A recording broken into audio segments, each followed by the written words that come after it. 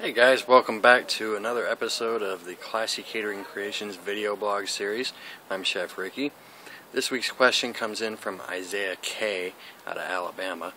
He wanted to know how you properly cook eggs. Um, and it was a two-part question. He wanted to know a properly cooked hard-boiled egg as well as a properly um, fried egg. So we're going to start off with answering the first part of the question, which is how do you properly cook a hard-boiled egg? With that being said, uh, the first thing you'll want to do is get a pan or a pot rather with cold water.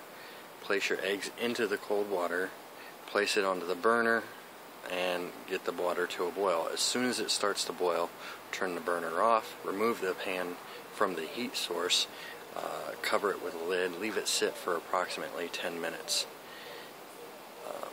When you get done letting it sit for the 10 minutes, you will then obviously run cold water over the eggs until they are cool, and then go through your normal process of peeling them.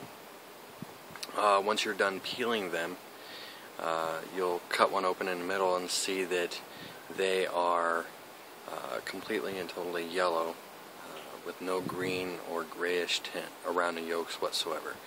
That is a properly cooked hard-boiled egg uh, to properly cook a um, egg by frying it, you're simply just going to adjust the heat to the proper level so that you don't get any browning on it. Um, a lot of people think, oh, well, if it's golden brown, it's perfect. Well, that's not the case. Um, so, with that being said, uh, you just want to make sure that the heat is right and you're cooking it at the proper temperature. Depending on the way you're looking for the egg to produce, whether it be um, hard or over easy or even sunny side up, uh, will definitely depend on the uh, cooking temperature that you will use. With that said, I want to thank you all for tuning in for another episode of the Q&A video blog series.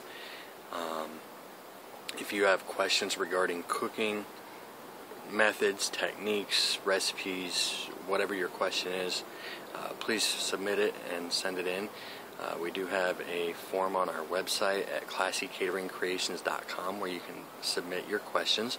Um, in addition to that, you can also email your questions in uh, through questions at classycateringcreations.com we enjoy getting your questions. We enjoy seeing all the different questions come in and, and answering your questions and trying to help you out a little bit and uh, making your lives in the kitchen a little easier with one video and one question at a time. With that said, thank you so much for tuning in and you guys have a great day.